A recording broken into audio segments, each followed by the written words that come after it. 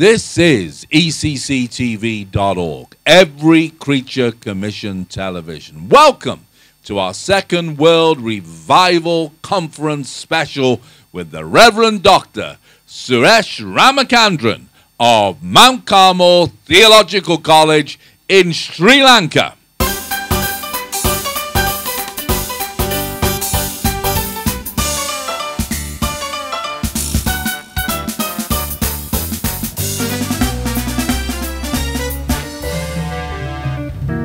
Well, this is great, great praise music of a Tamil variety, and I'm absolutely delighted in the name of the Lord Jesus to live stream this revival conference today, coming to you from Rhos-on-Sea, North Wales.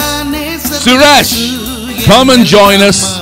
This is Suresh Ramachandra, my dear, dear pal from years and years ago. This, this music's amazing, Suresh. We give Jesus all the praise and all the glory. As Suresh is coming to minister God's word to you right now.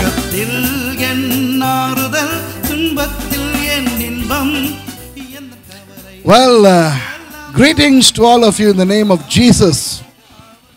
And uh, yesterday, when my pal Dave and I were talking about uh, revival in its true sense of the word, we were discussing as to how wrongly the church has perceived revival. And revival for many is what they receive from God. Now, I, I believe that God is a giver, he, he is a blesser.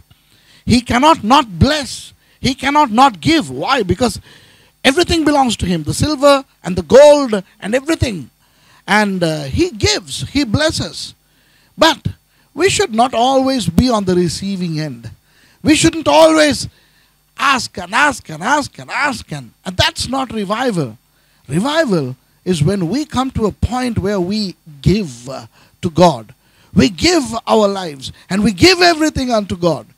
Now, God uh, doesn't need uh, believers, He needs disciples. Now, in the Great Commission, Matthew chapter 28, verses 19 onwards, say that Jesus, giving a great commission to the church, says, Go ye into all nations and make disciples, not believers. Now, I used to be a Hindu, worshipping 330 million gods. So, wha- what is wrong with one extra? So, we, we, we could believe in Jesus. There are so many people who are not Christians in the world today who believe Jesus to be perhaps God or a demigod or a semi demigod or whatever. But that is not what our God is after. Our God is after disciples. Now, what is the difference, you may ask, between a believer and a disciple?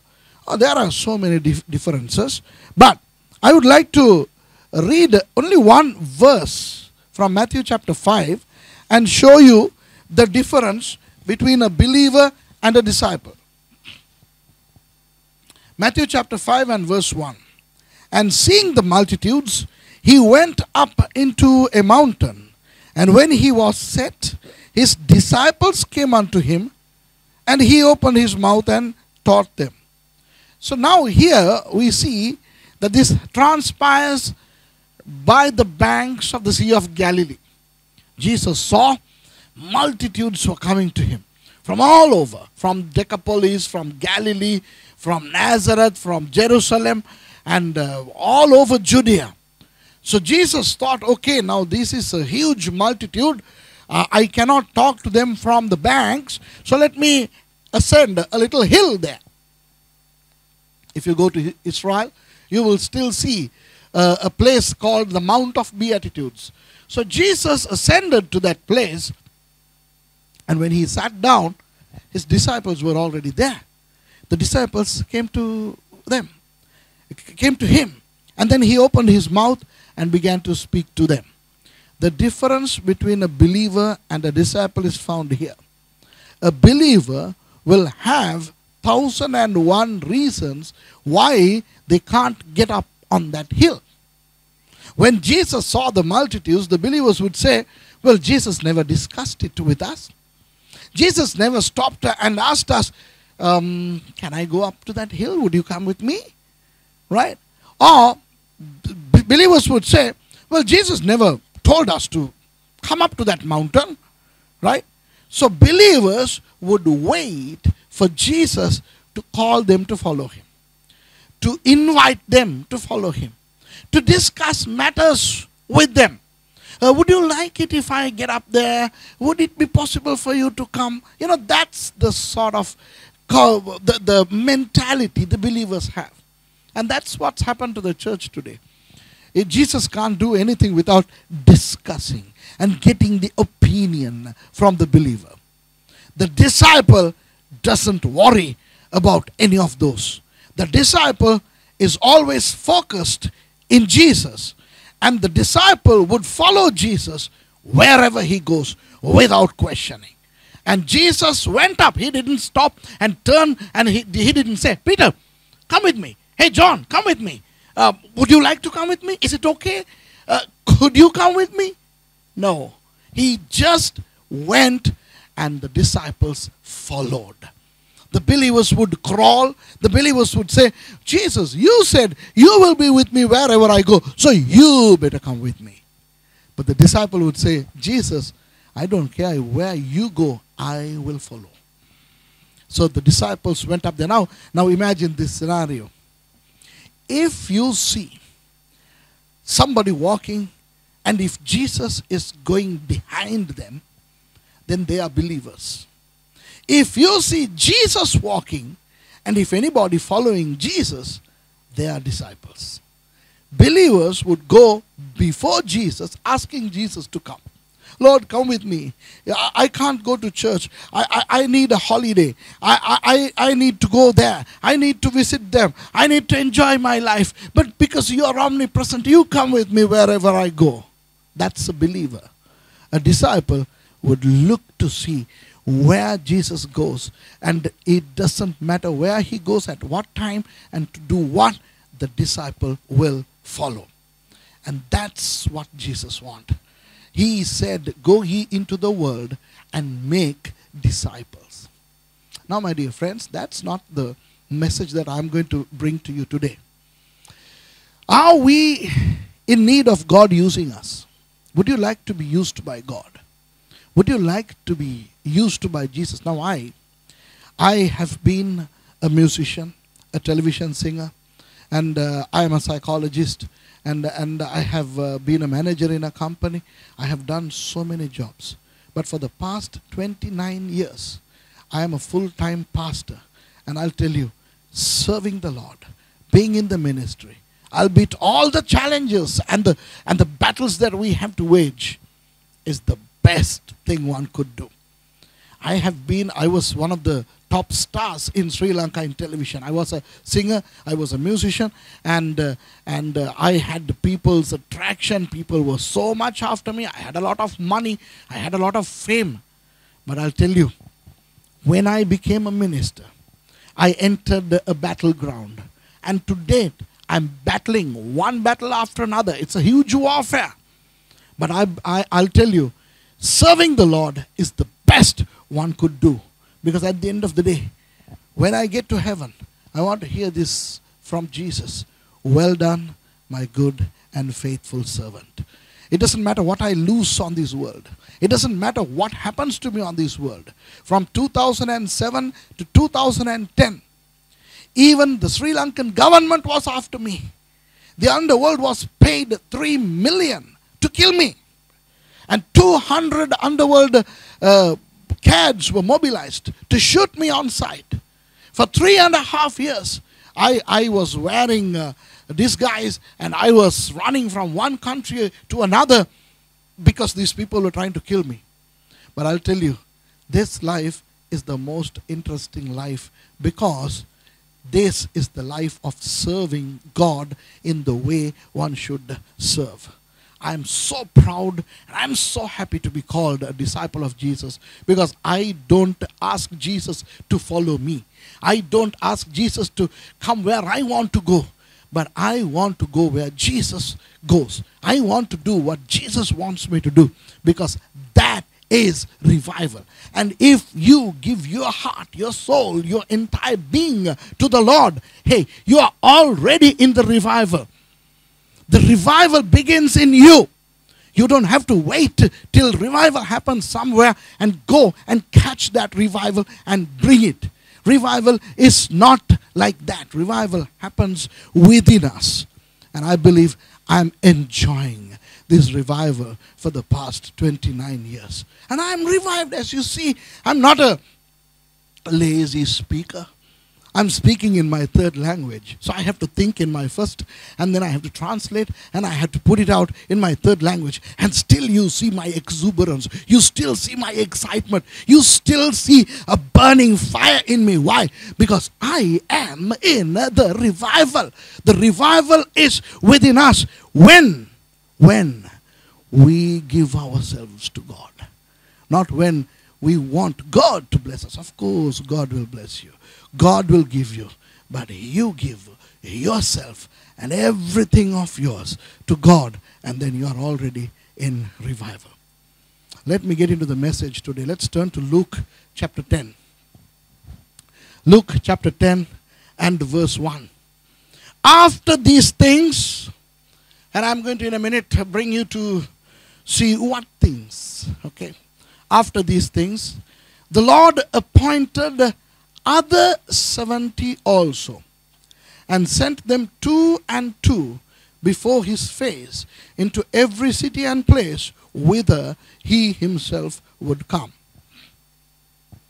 The word that I want to highlight here is the other. Other. After these things, the Lord appointed other 70 also. Other. Now, Jesus is appointing another group of people 35 sets of people. 2 by 2 makes 70. Now, why would he not use other people other than the 70? Now, the word other refers to the 70. But I am going to concentrate on those who are not one of the 70. Are you with me? Other. Now, I am not going to talk about these 70. Okay? Although these 70 are called the other 70. To appoint this 70, he does not use some others, right? Now, since he didn't use some others, he had to use another 70. So, in order to use the other 70, he did not use some others of who I am going to talk about. Why? Because today's message is God use me. God use me. Jesus use me. Why? I need to be useful. There are so many Christians in the world. They're Christians, but they're useless. They're useless to God. They're useless to Jesus. They're useless to Christendom. They're useless to the church. Hey, they are useless to the world. When you are useless to God, then you are useful to the devil. When you are useless to the church, then you are useful to Satan's synagogue. I want to be useful to God. I want to be useful. And I don't want to be like those who are not in this group of 70. Why? Because Jesus did not use them. Why? Let me come to that. That's the message today, my dear friends. Now, when Jesus says in verse 2, when you guys go two by two, do something. Now, today, as a pastor and a principal of a theological college, there are times when we do evangelistic meetings. I have students with who we go once in three months to new areas where the gospel has not been preached in Sri Lanka. Last December, we went to the former war torn area of Sri Lanka. They still don't have uh, electricity. We went to Vavunia, and from Vavunia, we went deep into the, the, the jungle areas where people live with no electricity, no water, just huts. And we stayed there. We went from one corner to the next, preaching the gospel. We preached the gospel. And I'll tell you, every time I send groups to go and distribute tracts, go and preach the gospel, you know what I say? I tell them, go with the anointing, pray, pray in tongues, pray in uh, tongues so that the Lord would give you the empowerment. In our college, there is a program where for one hour everybody needs to pray in tongues because I believe that praying in tongues is the secret language we have with God and we will be strengthened and will be used, will be empowered when we are a tongue speaking Christian. And I tell them, go, pray, bind the strong man, destroy the devil, pull down the strongholds, and pray. Now, Jesus is sending 70 people, two by two, 35 groups. He should have told them, You go likewise, pray. You pray and go. You bind the strong man and go. But look at what he says. He says in verse 2 Therefore said he unto them, The harvest truly is great, but the laborers are few. Pray ye therefore that the Lord of the harvest, that he would send forth laborers into his harvest. He doesn't say you pray for anointing. He doesn't say you bind the strong man on your way. He doesn't say anything else. He says, pray that God would have more laborers in the vineyard. That is the prayer of Jesus for the past 2,000 years. We need more laborers. We had wonderful laborers in the past in many countries. I'm, I'm speaking, I'm preaching here from Wales. In Wales, we had great men of God like Rees Howells, we had Smith Wigglesworth, we had so many great people in Wales. We had so many great preachers in England. It, it was from England that we, Sri Lankans, received the gospel. These missionaries came to India. These missionaries came to Sri Lanka, starting from uh, starting with William Carey. And it is because of the United Kingdom that a person like me became a Christian. But look at these nations now. These nations have gone to the devil. These nations have gone to the dog. Why? Because they lost the laborers. Now there are no, not enough laborers to work in the vineyard of Christ. And so many people who call themselves pastors, reverends, vicars, and men of God are no longer serving Jesus, but they're serving mammon. They're serving the world. They have deteriorated from being what God wanted them to be. They have lost the vision. They have lost the passion. They have lost the spirit. It's another Jesus, a social Jesus, a social gospel that they're after. The emerging church is a man pleasing church. They are no longer trying to please God, they are, they are no longer Bible abiding.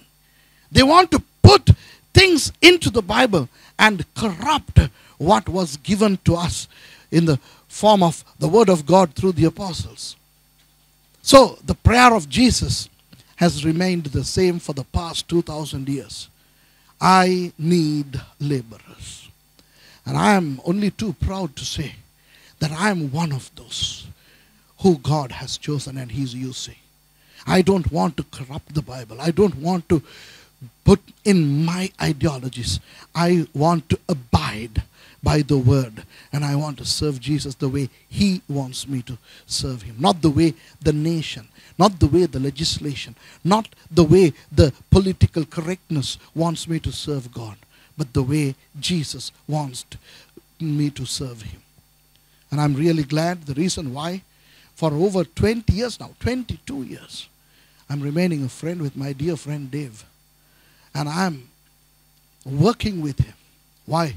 Because I see another me in him.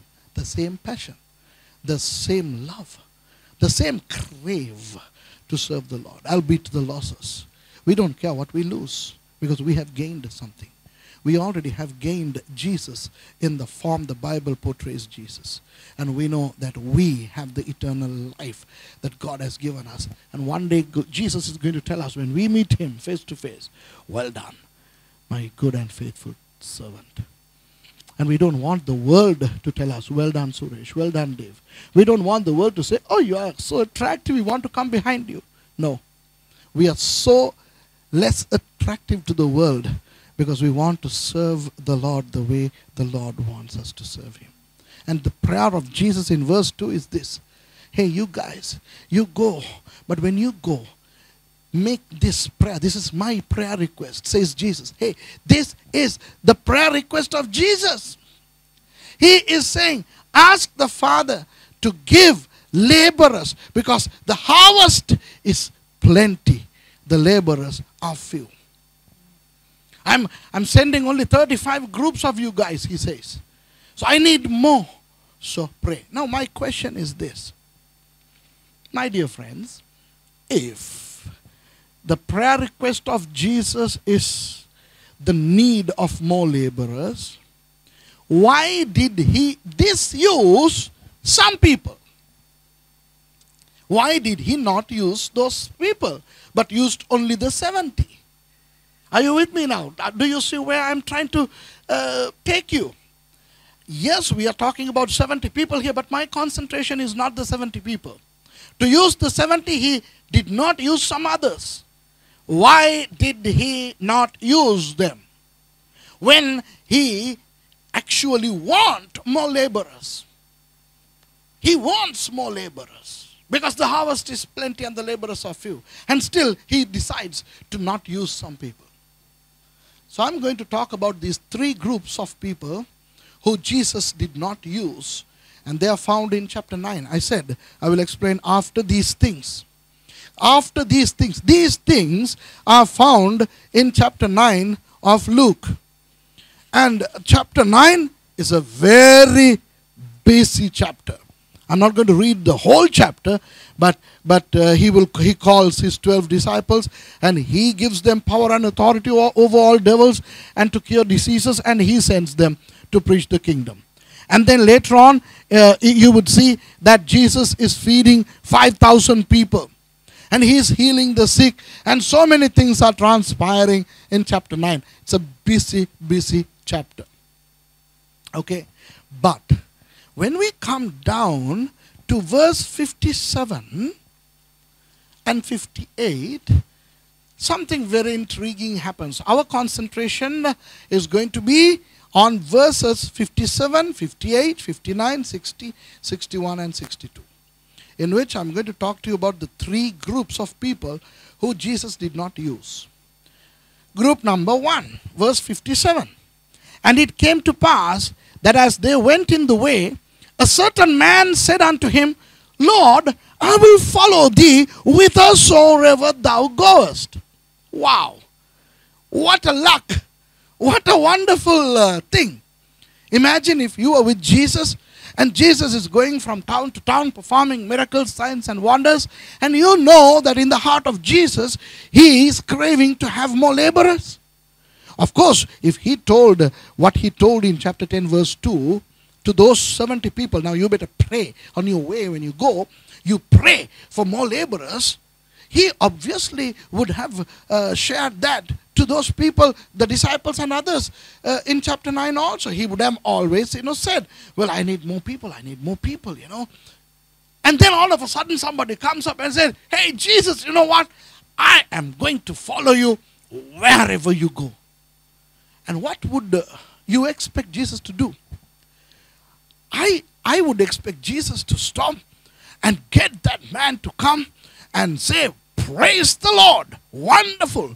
You are the guy who we need. Look at him. He would have told to others, Look at this guy, look at the commitment. He wants to follow me wherever I go. So Jesus should have become excited, happy, because somebody is committing himself to follow Jesus. But something very strange happens. Look at verse 58. And Jesus said unto him, Foxes have holes, and birds of the air have nests, but the Son of Man hath not where to lay his head. Jesus is discouraging him just like that. Jesus is chopping his expectations just like that. you know, Jesus is not interested in that guy. He's saying, No, I don't have a place to stay, so pointless coming after me. Now, I was wondering now, this happens in Galilee, okay? And Jesus did have a house that he had rented. We know that in Capernaum, Jesus had a house. And uh, Jesus was not uh, busy 24 7. There were times when Jesus slept. There were times when Jesus ate. There were times when Jesus rested. I'm not saying Jesus lied here. What I'm saying is, Jesus is discouraging this man completely. On his first decision itself, Jesus says, No, you can't come behind me. Why?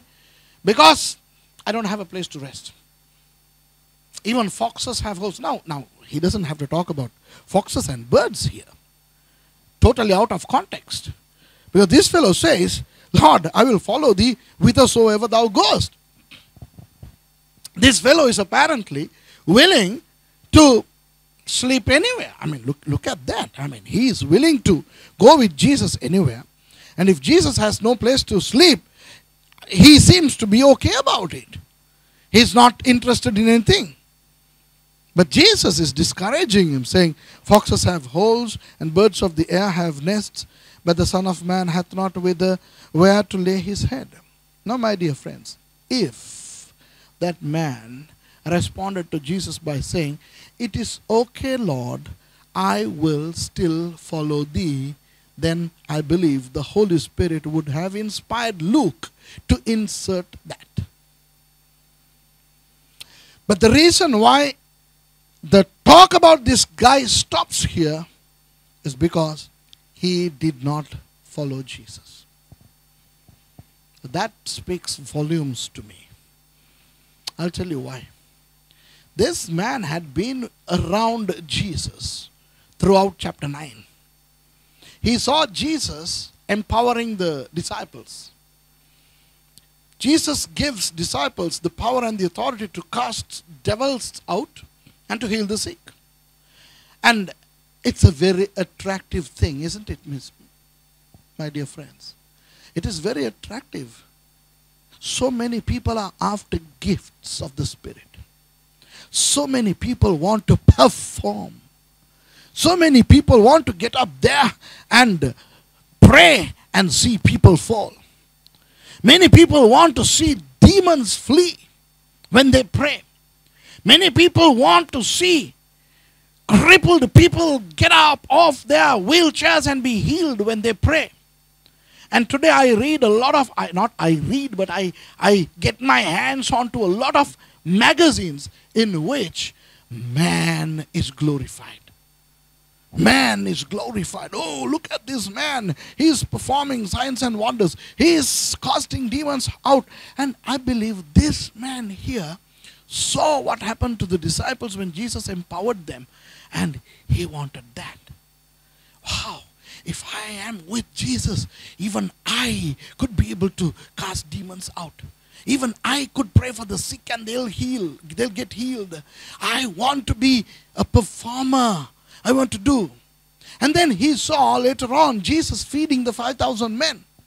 And this guy perhaps thought, wow, if I am with Jesus, I'll never go hungry. Why? Because Jesus can always feed me. This man was after the worldly attractions that one could get through Jesus. This is the social gospel that this guy was after. Jesus was feeding people, healing people. He directly healed them and he gave authority to his disciples to heal them. So there was healing, feeding, taking care of, nurturing, love, care extended to people, and this guy was attracted. This guy was attracted to the social gospel. And he wanted to be part, a part of that. And Jesus says, Sorry, you cannot come behind me. Why? Because if you think this is Christianity, sorry to tell you, there is a true side of Christianity. a true side of Christianity where even the Son of Man does not have a place to lay his head. My dear friends, true Christianity involves sacrifice. True Christianity involves giving of one's whole being to God. True Christianity involves a sacrificial life, a life not after luxury, a life not after rest, a life not after tranquility that the world is providing. That is why the devil has successfully removed so many true Christians from Christendom and thrown them back to the world. Look at the world. Compared to true Christianity, the world has become a comfortable place. Here, Jesus is telling him, It is not comfortable to follow me. Because if you follow me, you will not be comfortable. You cannot sleep when you want to sleep. You cannot eat when you want to eat. You cannot rest when you want to rest. Why? Because Christianity is a battleground. Paul says, Paul says when he came to almost to the end of his life, he says, I fought a good fight. His entire Christianity was a fight. I became a Christian in 1979. And when I first became a Christian, my mother beat me to bleed and tied me onto a tree and broke ant nests, yellow ant nests, for them ants to bite me and sting me. And she was inflicting a slow death on me. But God miraculously saved me and He saved my mother also. She also became a Christian. Many of you know my testimony. But my trials and my problems did not end there. I still, that was 1979 and this is 2015, I still go through battles, problems, turmoils, and hardships. Why? Christianity is not a bed of roses, it's not a soft path, it's a life of sacrifice, it's a battleground.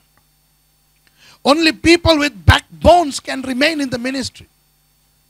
Only people who can stand up to the faith can be in the ministry. Only smart, strong, daring people can be used by God. But the world is full of other people who are falling into comfort zones. Look at the churches today. Very comfortable, very attractive church services. Music soothing the ears of people, but look at the lyrics. How many of the songs do you see glorifying Jesus? I'm saying now in English. I, I don't like to sing many of the modern songs today. Why? Because in many of the choruses and the songs that they sing in churches, the word Jesus is missing. In June, we spent a month in America.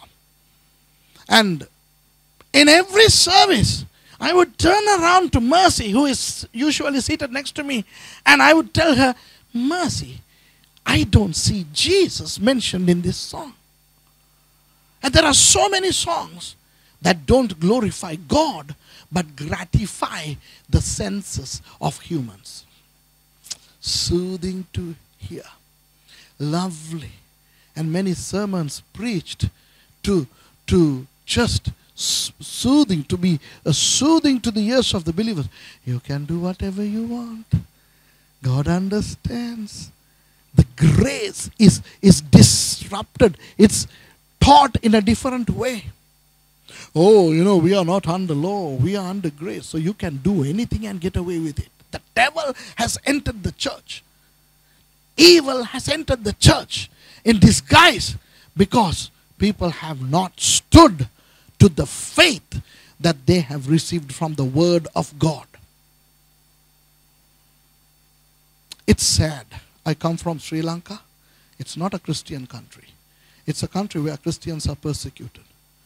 But I come to these Western countries, which used to be called Christian countries. Where did we get the Bible? English Bible from? England. 1611. England. I still use that Bible when I uh, read the Bible in English. I use that. But today, there are so many Bible versions to, to suit the world, to suit the people, to suit the wrong doctrines of the world to suit the evils from the world to come into the church. The true Jesus and the true gospel and the true Christianity have been now dismissed from the church because of comfort. Many people found the church to be an uncomfortable place. The church became an uncomfortable place. I'll tell you something.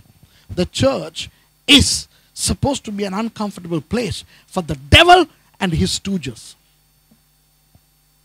And to keep them in the church, the church began to dilute its doctrines, to dilute its values, to dilute its norms to suit the people, to make the church a comfortable place for people to come.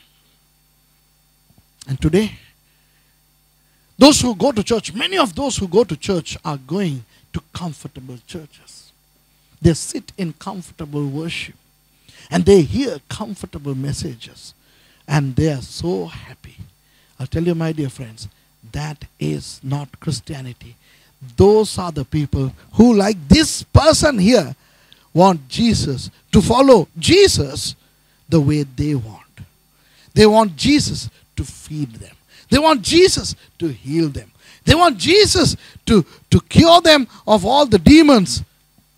But they don't want the hard life. And Jesus says, I'm sorry, you cannot come behind me. And Jesus used another 70. Are you with me now? He did not use these people, but he used another 70. And I am so glad that I don't belong to this group, but the other 70. I don't belong to those who say, Oh, I want, Lord Jesus, give me a comfortable sleep. Lord, you give me a comfortable life. You give me a comfortable ministry. I like to. I like to. As a human being, I like to run a, church, a comfortable church. I like to run a comfortable Bible college. I like to live a comfortable life because I am human. But if I'm crucified with Christ, if I'm crucified with my Christ and if I don't live, it's Jesus who lives in me, then it's not what I want, it's what He wants that I would like to do. My dear friends, my dear, my very dear friends, if you are after the good things that Jesus gives, that's fine. But you need the other side also.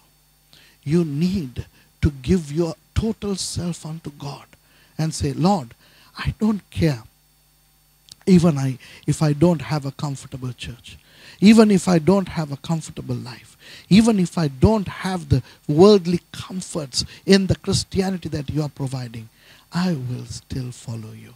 Then, my dear friends, like the other 70, God can use you.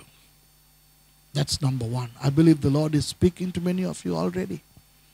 It's not, it's not the comfort that we need. It's the commission that we need to follow the commission. Okay, now let's go to verse 59. Now, in this case, nobody is approaching him, but he is approaching somebody. And he said unto another, Follow me. But he said, Lord, suffer me first to go and bury my father. So Jesus said unto him, Let the dead bury their dead, but go thou and preach the kingdom of God. Now, my dear friends, in this case, as I said, this guy doesn't come to Jesus and say, I will follow you, like the first guy. Jesus looks at somebody and says, Follow me. Hey, this person is receiving an exclusive calling. This person is receiving a special calling. What a lovely thing for somebody to be called by Jesus. Wow. In 1979, when I became a Christian, immediately I received a calling to serve the Lord. And I was so happy that the Lord called me to be a, a, servant in His vineyard. As I said, I have been in many jobs in the past. I have sung in the television, been a musician, I have been a manager in companies, and, and, and uh, I am a clinical psychologist and whatnot. But I am so proud to be a servant of God in the ministry. And this man is receiving an exclusive call from Jesus himself. Jesus didn't say to Peter or somebody, hey, go and call him to follow me. No. Jesus says directly, follow me. Wow. He should have left everything and gone behind Jesus. But he says, now listen to this. Listen to this very carefully. Listen to the subtlety of the word and the worldly fleshly desires in him. He doesn't say, no, I will not follow you. He says, yes, I will follow you, but suffer me first to go and bury my father. He was a Jew, apparently. And the Jews had responsibilities. Now, when you read this, don't think that there was a dead corpse. A, a, a father, his father was dead, and he's wanting a few hours to go and bury the father. No.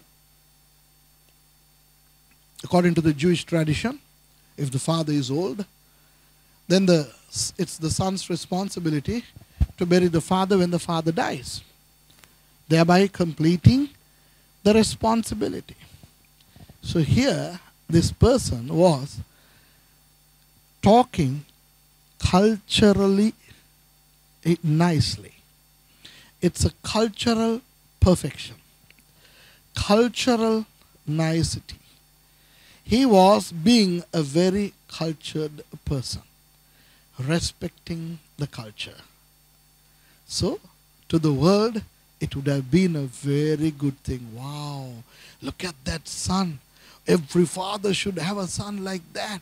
He received a serious calling from Jesus, but he says, I will come behind you, but first I need to bury my father.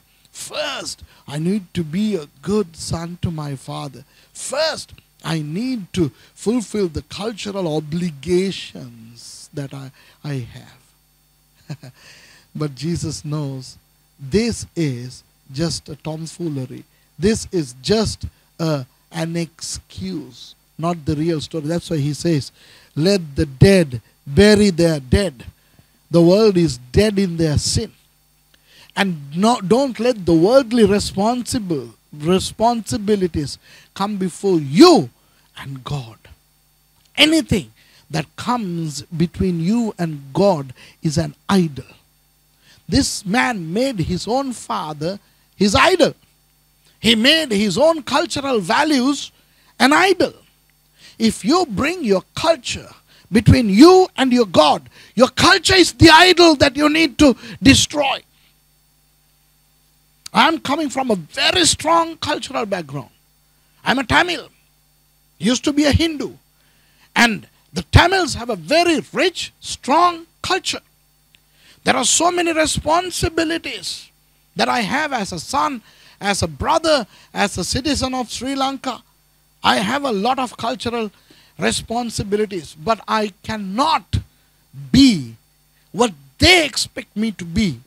I cannot be culturally perfect, culturally correct in terms of responsibility because I have a higher calling in my life.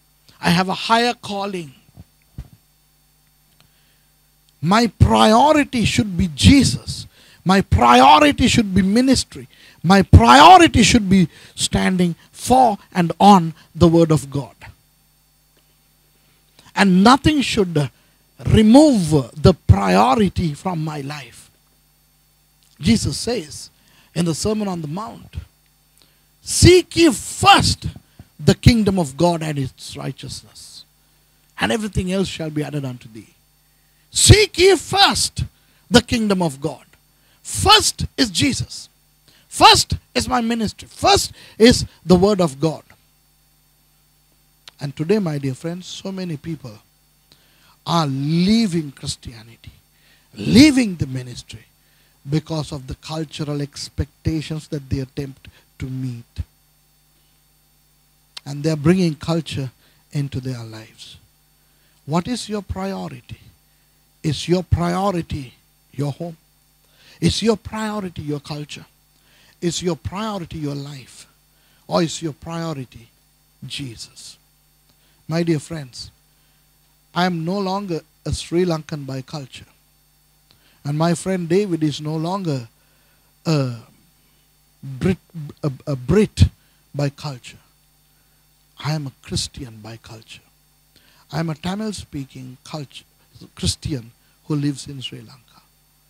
And my priority is Jesus. My priority is the Word. And today, so many people cannot are unable to be used by God because they don't have their priorities correct. And if God is to use you, if you need to be in the other 70, then you need to put your priorities right. Priorities God, His Word, His kingdom, and then the other things. Anything which comes between you and your God is an idol. And God detests idols, He despises idols. Now, when we say idols, we, we think about the images that those Israelites worshipped in, in, in those days. The huge images of heathen gods. Yes, that's true. But today, idolatry has crept into the church because so many things have come between the individual and his or her God. Let's go to the third point. Verse 61. And another also said, Lord, I will follow thee. In this third story, sto- story also, like the first one, somebody comes and says, Lord, I want to follow you, but let me first go bid them farewell which are at home at my house. So he is saying, Well, Lord, I, I want to follow you, but I want permission. Now, here he, he doesn't just, if we don't know the Jewish culture, we will think that he's, he's going to just inform them because it sounds like that. But let me first go bid them farewell. So he's just wanting a few minutes to go home and say, Hi, bye, mom, bye, dad, bye, brothers, bye, sisters, I'm going, okay? Bye. No, no, no, no, no. Here, I have investigated this to see what happened here. This guy wants permission from the house. He wanted them to release him to follow Jesus. Now, Jesus says, No man having put his hand to the plow and looking back is fit for the kingdom of God. Wow, what a strong statement is that. No man having put his hand to the plow and looking back is fit for the kingdom of God. He is saying, look, no you don't need the permission from anyone to follow me. My dear friends, this is very strong, very strong. Because if somebody is to give you permission, that somebody is bigger than who is calling you to do that. If I ask permission from somebody to preach, then that somebody is bigger than whoever wants me to preach. And Jesus is saying, abstractly, you have made your family bigger than me. You want your family to release you to follow me. No. You have put your hand on the plow. And if you turn back, you don't need to take your hand off. But if you just turn back, then you are not fit, not to just serve me, but to be in the kingdom of God. I am running a Bible college, as you see, as you know. I'm running a Bible college of young men and women. And sometimes some people come to the Bible college and before they come to the Bible college, they say, Well, we need to get permission from the family. What happens is, some families don't give the permission. Why? Because they are not still Christians. Even some Christian parents don't allow their sons to go to Bible college because they want their son to earn and provide for the family. And I tell them, if you want to serve the Lord, you come no matter what. Because the world is never going to allow you to serve the Lord. My dear friends, listen to this. The world and anything thereof will never ever allow you to serve the Lord. Because serving the Lord is detestable to the devil. And the world is controlled by the devil. And this guy wants release, permission from the home. And many students don't show up finally at the Bible college because they were disallowed. And today, unfortunately, in the many of the former so-called Christian countries, the church cannot do what the Lord wants the church to do without permission from the government, from that organization, from this, from that, and from the other. What has happened?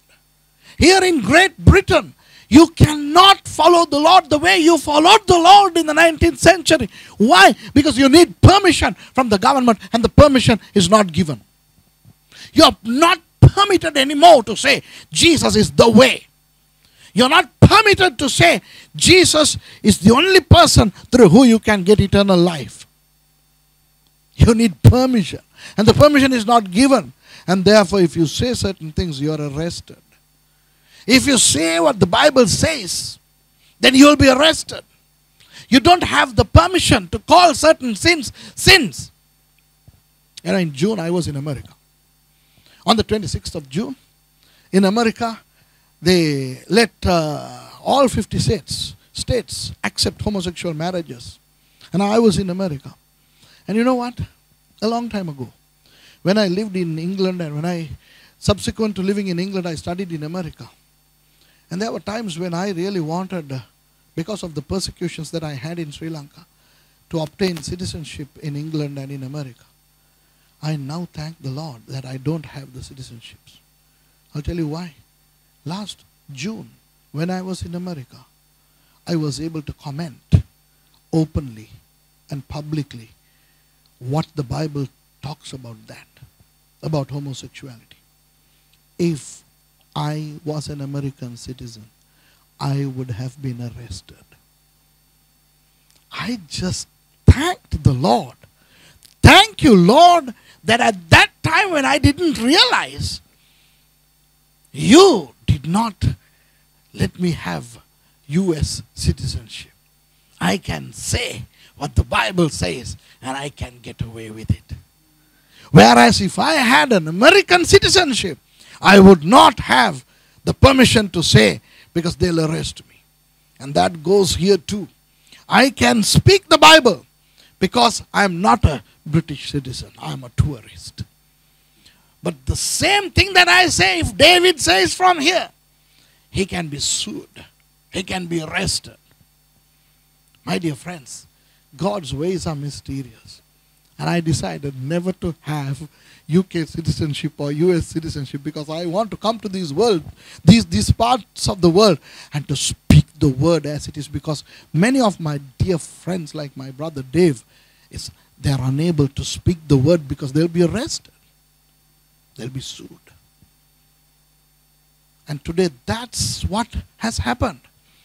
People need permission to preach the gospel, but the world is not giving that permission, so people cannot preach the gospel. And they need permission to do this and the other. And Jesus says, No, you don't need permission from anybody to follow me. Because if you seek permission to live your Christian life, if you seek permission from anybody to live your Christian life, then you are turning back. After putting your hand on the plow, you're turning back. And when you have a conviction, my dear friends, listen to this very carefully. If you follow the word as it is, if you follow Jesus the way he wants you to follow him, if you have that conviction, the devil will try to, to rip that conviction from you. The devil will try to threaten you.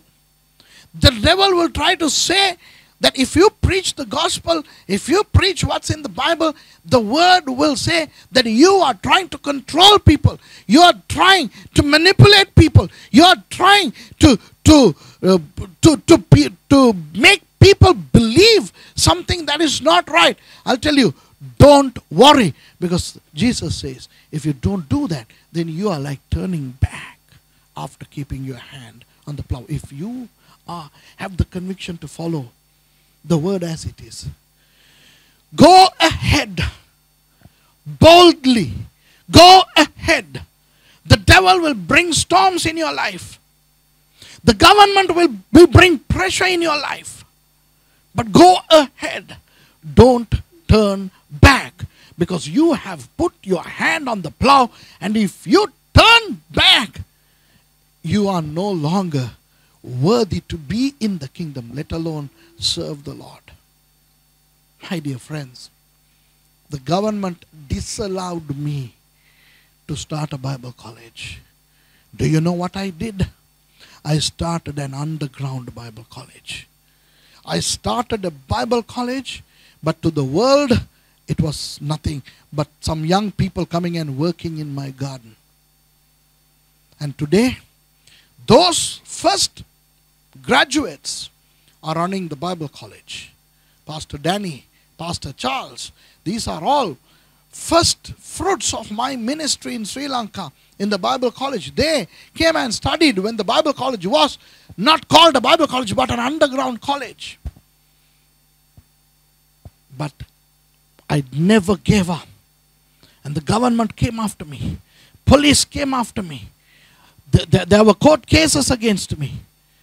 But there came a time when I came out victorious. And now our Bible college is a very famous Bible college. It's a very famous church. And now we are up in the out in the open serving the Lord. Don't give up. The devil is powerless. The devil will scream. The devil will yell. The devil will try to show that he is huge. But he that is in me is greater than he that is in the world. And I don't want anybody's permission to do what my Lord wants me to do.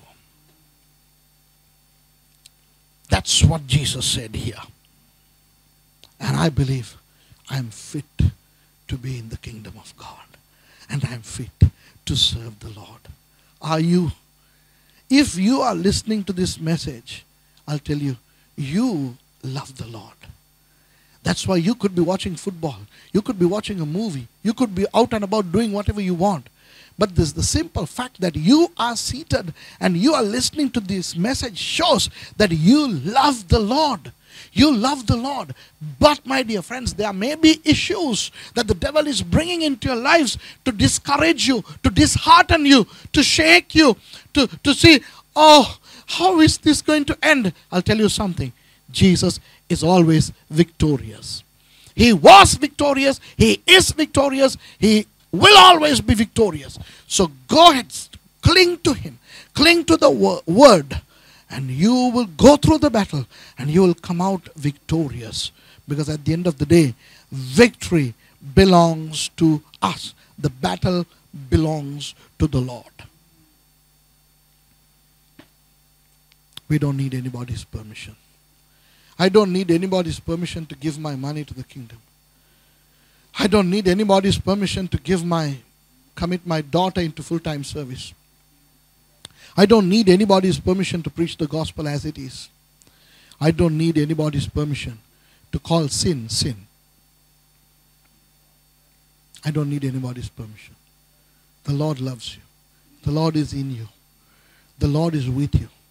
His power is in you. You are a powerhouse. You may not know it. You may not feel it. We don't need to know it because we are not called knowers. We don't need to feel it because we are not called feelers. We need to believe it because we are called believers. You have that great power in you. You have that great conviction in you. So, the three people, the three groups of people Jesus did not use. Number one, those who are after the worldly attractions, the worldly uh, attractive uh, goodies. Jesus said no. And number two, I have responsibilities. Let me first fulfill my responsibilities. No. Our prime responsibility is God and His Word. And number three, I need permission from my superiors. My dear friends, our superior is Jesus. Our superior is the Word. Are you glad about the other 70? I am really glad. And Jesus used the other 70. Wow. He appointed the other 70 also. and he sends them, right? And when they came back, I want to just finish by, by saying what happens uh, eventually. Verse 17 of chapter 10. And the 70 returned again with joy, saying, Lord, even the devils are subject to us through thy name. Wow. But Jesus said unto, him, unto them, I beheld Satan as lightning fall from heaven. Behold, I give you power to tread on serpents and scorpions and over all the power of the enemy, and nothing shall by any means hurt you. Notwithstanding in this, rejoice not that the spirits are subject unto you, but rather rejoice because your names are written in heaven. My dear friends, I'll, I'll concise this, I'll say it in simple words. When the 70 people came, they said, Oh, Jesus, you know what? We cast demons out, they fled. When we used your name, things happened. Jesus says, I saw greater things than you saw. I saw Satan himself falling from heaven. So don't rejoice over what I'm doing through you. Rejoice over the fact that you will end up in heaven, that you will spend your eternal life in heaven. My dear friends, the only hope that you and I have as Christians is nothing to do with the world, it's the eternal life. I am willing to suffer till I die. Why? Because my life begins when I die. My eternal life begins when I die. And what I'm doing here on earth is temporal. I don't need to worry about comfort on this earth. Many people would want to settle first before doing things. You can never settle because there comes a day when we need to leave the earth, when we really commence our eternal life. My dear friends, work for that. Work for that. Hold on to the salvation that you have received. Praise God for the salvation we received through Jesus. And so many miracles are happening, so many things, signs and wonders are happening, but don't be overexcited by those. Be happy that your names are written in the Lamb's book of life and that you are going to spend your eternal life with Him in heaven. I believe the Lord has spoken to you much. And that's revival, having the faith of the eternal life, envisaging the forthcoming glorious event of entering into the eternal life is what should give us joy. We are happy people, my dear friends. Christianity is the only faith that gives joy. I say that all the time.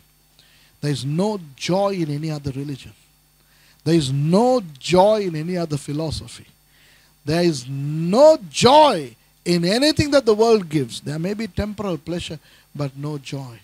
But in Christianity, in Jesus, we have joy. And the joy of the Lord is our strength. And to the poor church in Philippi, to the, to the Philippians, Paul's, through Paul, the Holy Spirit says, Rejoice in the Lord always. And again I say you, say rejoice.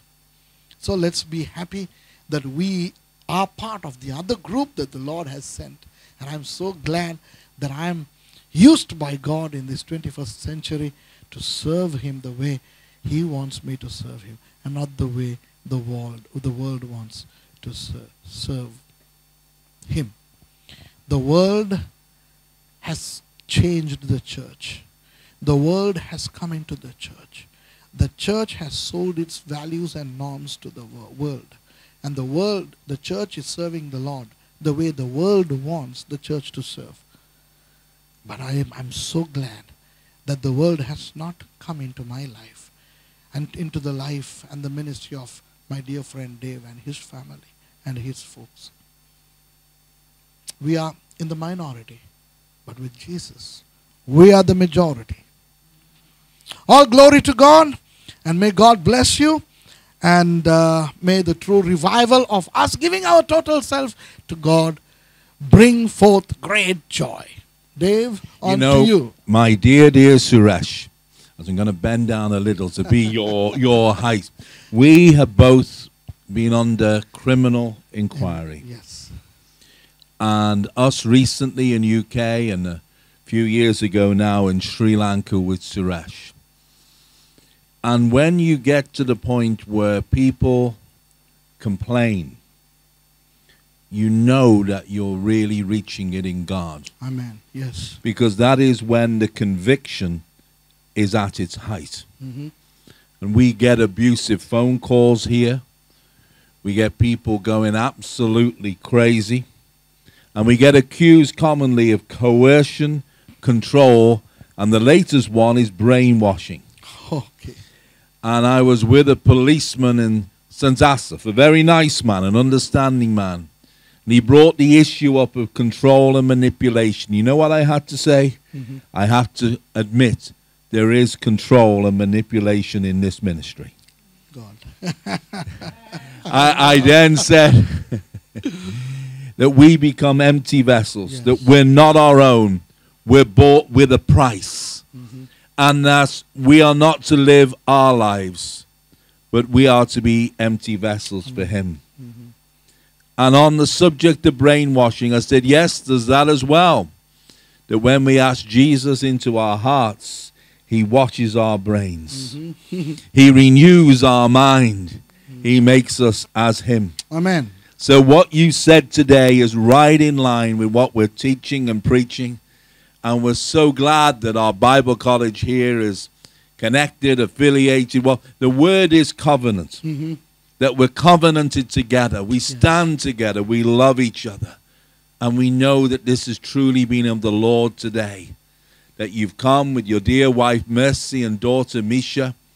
That we're standing together in this call. And the world's going mad. Mhm. The emerging church goes mad against us because we found it out hmm that Jesus is the Son of God, the only way to the Father. Amen. That He has its, His standards. Yes. And there is only one type of marriage and only one type of lifestyle. Yes. I speak as Christ and the church. hmm For a man leaves his parents to be joined to one wife. Wife. Yes. And from there comes the fruit from which the world can continue. yes.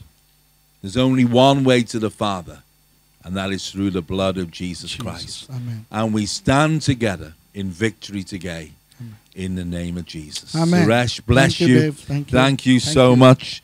And we're saying goodbye to you all.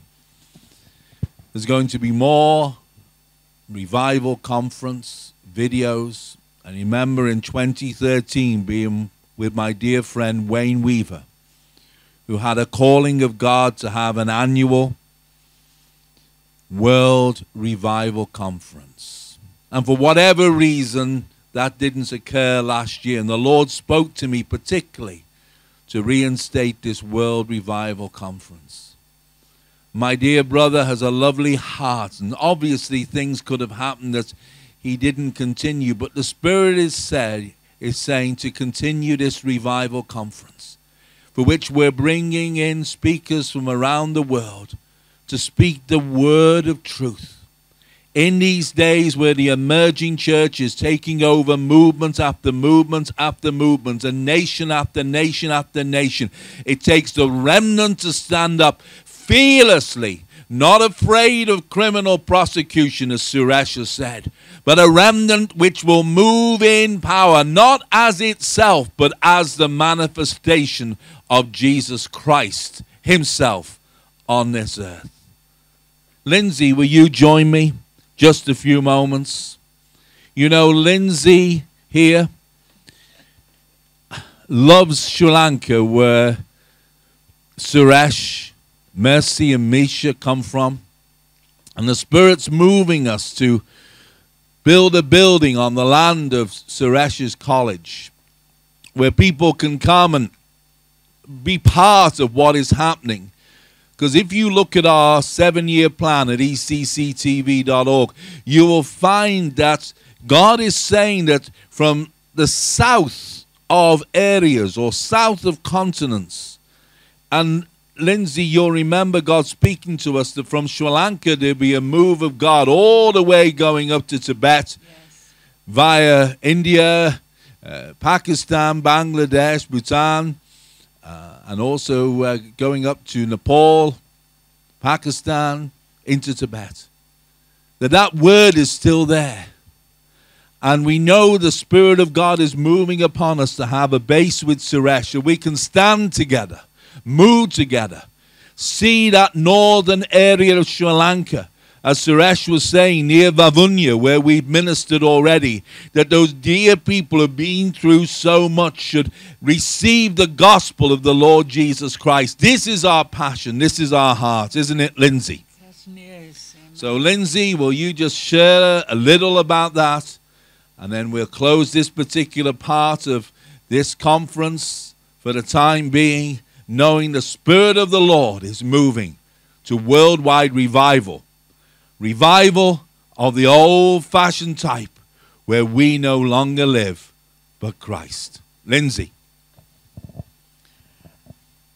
Hallelujah. There is a, a, a wonderful move of God afoot this time for those who are open and willing, as dear Dr. Suresh Ramachandran has just been saying, who are willing to let the things of the world, the earth, grow strangely dim and to turn their eyes upon Jesus and fulfill His great commission, His personal calling on our lives. We should never be hindered by the devices of the devil, for he is a defeated foe.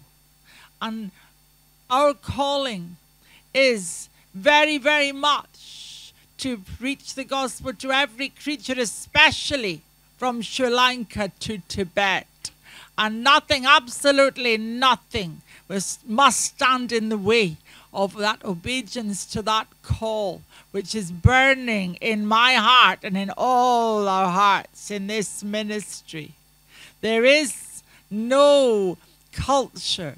There's no culture. We're citizens of the kingdom of heaven first and foremost. And that is what is number one.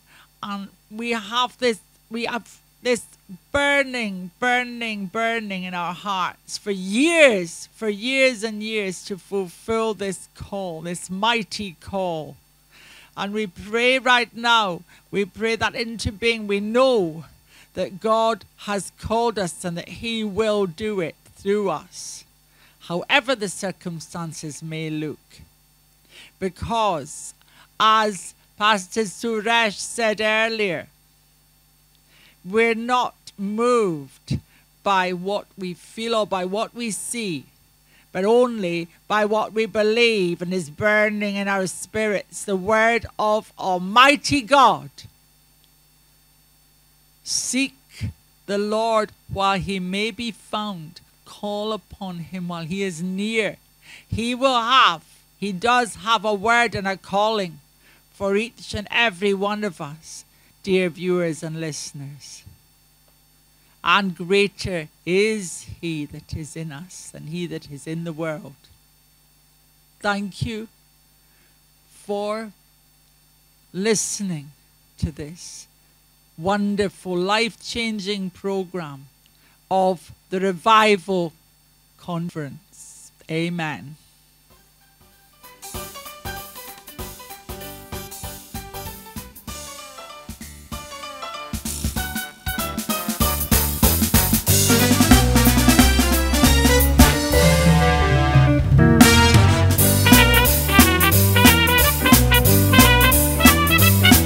Thank you for joining us today on Every Creature Commission TV. You can find us at ecctv.org. The music you hear in the background is that of Reverend Dr. Suresh Ramachandran.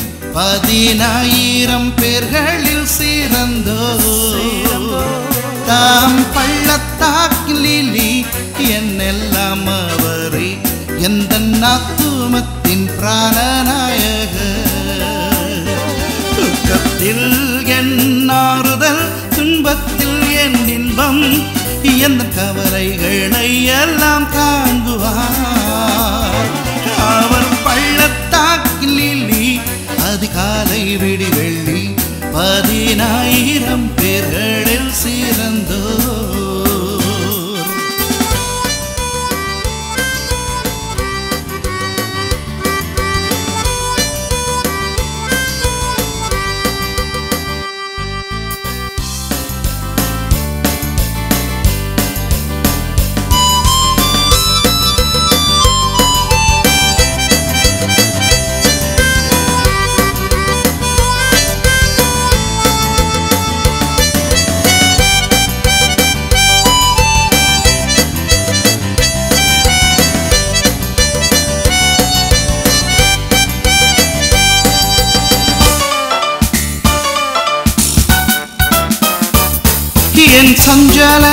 நீங்க என் பாவம்மா அன்பால் சுமந்து அவர் தம் ஜீவனை விட்டார்.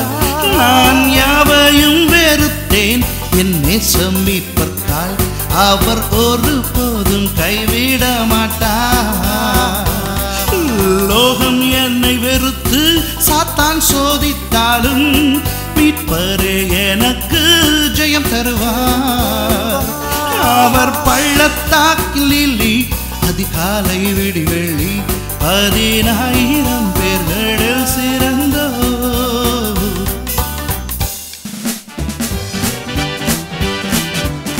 And to quote Reverend Dr. Suresh Ramachandran, he said this It's not the comfort we need, it's the commission. And he said unto them, Go ye into the whole world Yes, preach the gospel to every creature. And you can contact us from the UK 01492 54451 or from overseas 0044 1492 54451. We thank you for joining us today. God bless you. சித்தத்துக்கு கீழ்ப்படிவேன் நானால் எல்லா துன்பங்களையும் நான் சகிப்பேன் எனக்கு பயம் என்ன? அவர் என் பங்கானால் எந்த நாத்துமத்தின் மன்னாய்வரே ஜீவ நதிகள் பாயும் சொர்க்கத்தை சேரையில் அவர் திருமோகந்தனை நான் காண்பேன். அவர் பள்ளத்தாக்கில் அதிகாலை விடி வெள்ளி பதினாயிரம் பேர்களில் சிறந்தோர். இயேசு பள்ளத்தாக்கில் அதிகாலை விடி வெள்ளி பதினாயிரம் பேர்களில் சிறந்தோர். பதினாயிரம் பேர்களில் சிறந்தோர். பதினாயிரம் பேர்களில் சிறந்தோர். பதினாயிரம்